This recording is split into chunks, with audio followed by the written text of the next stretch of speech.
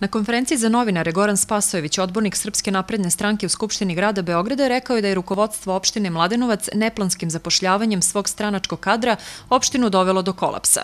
Spasojević je rekao da je opštinsko rukovodstvo to uradilo po ugledu na svog predsednika stranke i gradonačelnika Beograda Dragana Đilasa. Umesto da sprovede analizu potreba javnih preduzeća, izvrši rekonstrukcija i stvaranje povoljnog ambijenta za otvaranje novih radnih mesta, opštinsko rukovodstvo je prenatrpalo javna preduzeća i otežalo i onako tešku i neizdrživu situaciju.